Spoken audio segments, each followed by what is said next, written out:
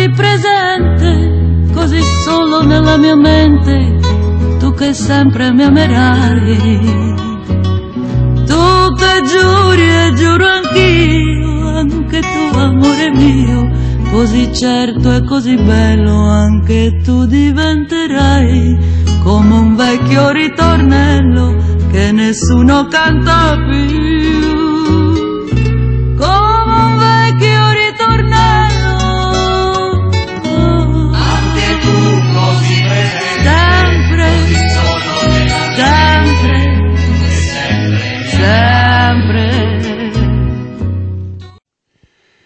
Benvenuti all'Antenna 2 e benvenuti nella caserma della Polizia Locale di Avezzano, nella sede degli uffici direttivi. E siamo insieme all'avvocato Luca Montanari, il maggiore Luca Montanari, che è il comandante della Polizia Locale di Avezzano. Intanto grazie per averci eh, accolto, comandante. E, mh, lei non è di Avezzano, da quanto tempo sta qui? Beh, io sono di Rimini e sono ad Avezzano da circa un anno. Per la precisione ho preso servizio il primo settembre del 2008, quindi ad oggi sono circa un anno e due mesi. Come mai ha scelto Avezzano? Ma più che scelto Avezzano è Avezzano che ha scelto me. Io ho partecipato a un concorso pubblico a livello nazionale e l'ho vinto e per cui ho preso servizio. Qual è la funzione specifica di un comandante di polizia locale? Allora, innanzitutto dobbiamo precisare che l'autorità di polizia locale è il sindaco. Il sindaco emana le direttive e il comandante è l'organo esecutivo, colui che deve tradurre quelle direttive in azioni concrete, quindi portarle ad effetto e a- praticamente individu- individuando i servizi, le priorità e i luoghi e le situazioni dove intervenire per avere maggiore efficacia nelle- nel- nei servizi. Abbiamo detto polizia locale. Perché si chiama polizia locale? Una volta si chiamava polizia municipale, vigili urbani. Tra l'altro la voce polizia locale non l'ho trovata sull'elenco telefonico. Ecco, questa è una lacuna che cercheremo in effetti di colmare e di correggere quanto prima. Diciamo che i vigili urbani sono la vera vecchia denominazione che ci portiamo appresso da oltre 50 anni. La legge del 1986 ha abrogato e sostituita con quella di polizia municipale. Poi, con l'avvento della riforma del titolo quinto della Costituzione e una legge regionale dell'Abruzzo, che è una- stata una delle prime leggi in Italia che ha saputo interpretare la nuova normativa, ha trasformato in polizia locale. Polizia locale perché innanzitutto ha un eh, respiro di valenza internazionale, è l'unica locuzione che può essere tradotta in tutte le lingue. Quindi un turista che viene in Italia e legge polizia locale, quantomeno riesce a capire che ha di fronte a te una forza di polizia che dipende dalle autonomie locali, dipende dall'autorità eh, decentrata e non dallo Stato. Quanti agenti ha a disposizione?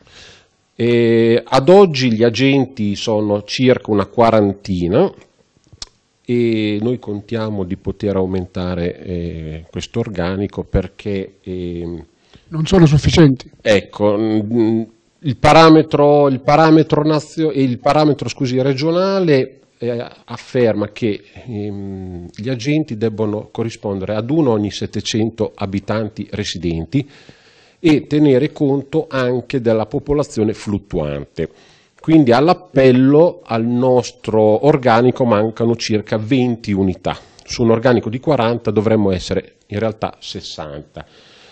Una lacuna che purtroppo, ahimè, eh, al momento difficilmente si, si riuscirà a colmare perché c'è il blocco delle assunzioni a livello nazionale, per cui quello che si può fare è riferito ai numeri. Ma è per questo che vediamo più un servizio di polizia che di vigilanza in città.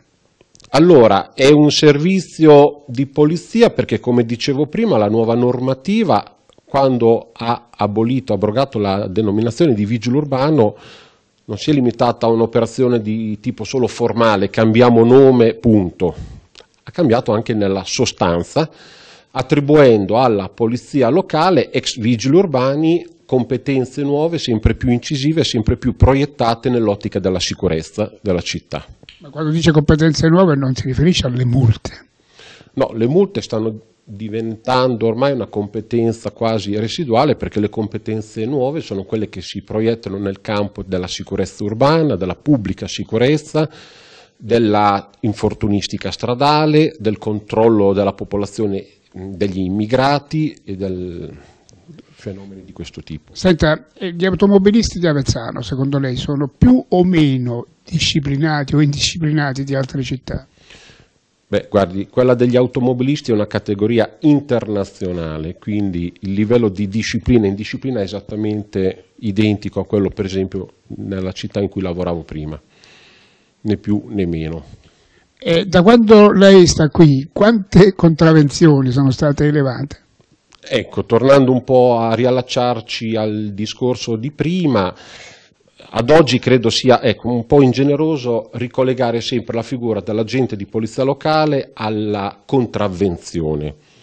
La contravvenzione è, è uno dei tanti compiti che noi siamo chiamati a svolgere, ma tanti altri si affiancano alle contravvenzioni. Comunque posso fornire un dato.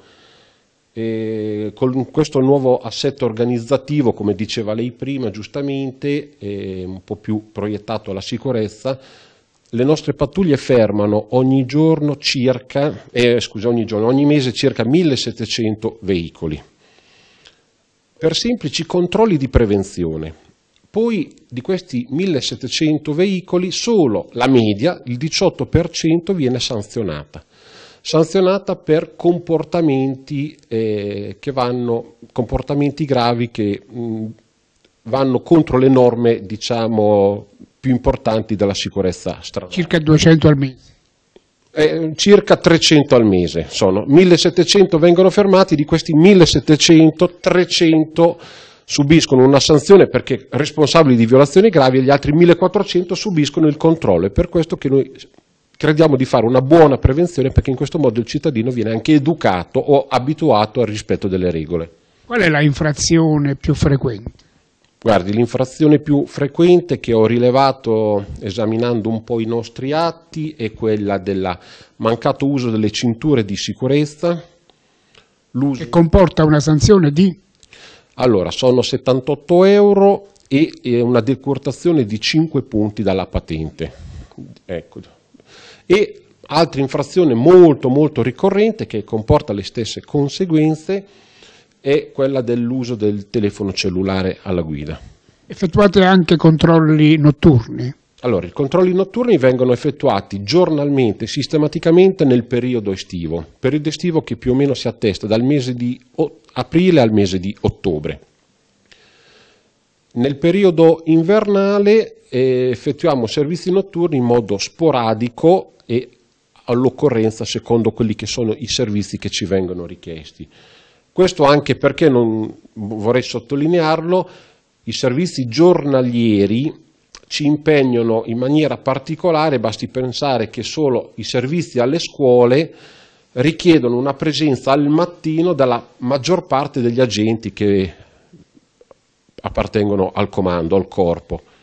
Senta, il suo referente a livello di amministrazione comunale è l'assessore alla polizia locale o è il sindaco o tutte e due? Beh, allora, innanzitutto l'autorità principe, referente principale della polizia locale è il sindaco, autorità locale di polizia eh, amministrativa locale, come dice la legge in maniera eh, precisa. Il sindaco emana le direttive e una parte delle proprie competenze le può delegare a un assessore, come è avvenuto nel nostro caso. Infatti ho come referente il sindaco e anche un assessore che in subordine mi fornisce le direttive. Senta, quando lei vede quelle lunghissime file ad Avezzano su via 20 settembre, su via Roma, su via Montevelino, che pensa?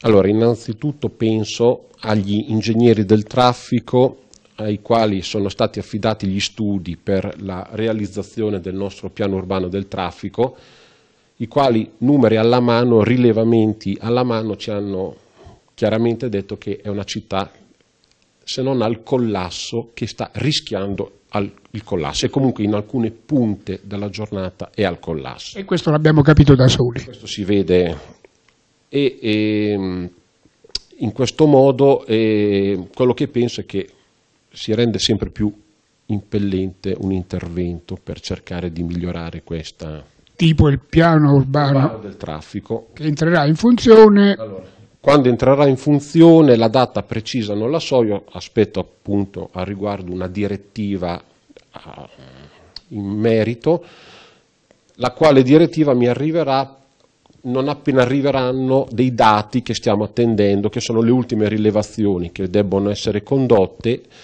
e una piccola questione di carattere burocratico amministrativo per l'acquisto dei segnali, eccetera. Quando saremo pronti con i segnali in magazzino e avremo anche questi dati si potrà partire. L'ora X verrà stabilita ovviamente dai miei referenti amministrativi. Sì. Quante auto entrano in un giorno ad Avezzano? Allora, io ho i dati che mi sono stati forniti dall'ACI, posso dire che ogni giorno ad Avezzano si muovono circa 40.000 veicoli, solo di persone residenti ad Avezzano. 40.000 veicoli alle quali si aggiungono, dati delle rilevazioni effettuate, circa altrettanto veicoli di persone che entrano o escono o transitano per Avezzano. Quindi una media di 80-100.000 veicoli tutti i giorni. Il problema parcheggi, secondo lei, come si può affrontare, risolvere, migliorare? Il problema parcheggio è un problema molto delicato, molto sentito. E diciamo che come amministrazione è stato fatto, credo, molto e altrettanto verrà fatto, principalmente con la istituzione dei sensi unici. Istituendo un senso unico è vero che a volte forse il giro si allunga un po', però non dobbiamo sottovalutare il fatto che vengono eliminati dei divieti di sosta, consentendo la sosta dei veicoli anche sul lato dove prima era vietato, quindi recuperando posti auto. Altre ecco, sensi unici verranno poi ovviamente all'entrata in vigore del piano urbano del traffico verranno notevolmente aumentati per quello che riguarda il cosiddetto centro storico o quadrilatero, dove le strade si cercherà per quanto possibile, compreso il quadrilatero stesso, di trasformare a senso unico e per fluidificare il traffico e per reperire parcheggi. Questo ovviamente per quello che riguarda il centro. Il centro poi è quello che è, per cui altri parcheggi, come molte volte viene anche richiesto in maniera un po' demagogica da qualcuno, non è realizzabile nessuna ipotesi perché o si abbattono case o, eh, oppure non si, o si va a piedi. O si va a piedi, un attimo di eh, camminata, un attimo si allunga il percorso, si parcheggia un po' più lontano e si raggiunge il centro a piedi come avviene in tante città. Parcheggi in periferia non ne avvertiamo l'esigenza perché molte volte in periferia il posto si trova, soltanto che siamo un po' tutti abituati a voler andare in centro con l'auto fin davanti al negozio, è lì che si crea il problema poi. Torniamo un attimo sui vari settori in cui interviene la polizia locale, eh, tipo so, l'accattonaggio, eh, i, i venditori abusivi, ecco parliamone. Allora, l'accattonaggio è un problema, diciamo, sentito che noi stiamo cercando di monitorare anche perché bisogna distinguere due situazioni differenti. L'accattone vero, il quale è una persona bisognosa e che va aiutata, non va colpita, e per quanto possibile noi cerchiamo di effettuare anche segnalazioni ai nostri assistenti sociali affinché si prendano cura di persone che effettivamente possono aver bisogno, e accattoni meno bisognosi che magari celano intenti differenti e a quel punto bisogna intervenire. Devo dire purtroppo che le leggi in nostro possesso non ci consentono granché interventi molto efficaci. Anche perché se fate una contravvenzione finisce lì. un foglietto, si fa la contravvenzione, sono anche 50 euro, 100 euro che si mette nelle mani di una persona che molte volte è irreperibile, senza fissa dimora, oppure non ha intestato nulla, per cui diventa inefficace il provvedimento. Comunque a Vezzano le piace? Molto, sono molto contento e già mi ero innamorato così, di questa città al tempo del concorso, questo l'ho detto a tutti E, in contemporanea ho fatto concorsi in varie parti d'Italia, però devo dire che quando sono venuto a dare il concorso ad Avezzano ho sentito qualcosa in più che mi ha spinto ad applicarmi meglio per poterlo vincere questo concorso. Le è capitato di dover dire di no a chi le chiedeva di annullare una contravvenzione? Sempre. Sempre. Io le contravvenzioni non le posso togliere e le autorità competenti a fare ciò sono il prefetto e il giudice di pace. Chiunque altro provasse a togliere una contravvenzione, anche ritenuta giusta, giusta, giusto togliere quella contravvenzione, dovrebbe comunque farsi parte diligente presso il prefetto, presso il giudice di pace per aiutare il cittadino affinché quella contravvenzione gli possa essere tolta. Strappare il foglietto, come molte volte ci viene chiesto così in modo semplicistico, togli quella contravvenzione significa commettere un reato. Togliere una contravvenzione è un, eh, un reato. Chiarissimo. Senta, abbiamo concluso, grazie. E, ehm, che cosa si sente di dire a un automobilista vezzanese? Io mm, più che ad un automobilista avezzanese direi così agli avezzanesi in genere di riscoprire un po' più il gusto di andare a piedi e di utilizzare la bicicletta perché è molto importante e la città è molto bella e si presta molto a questo.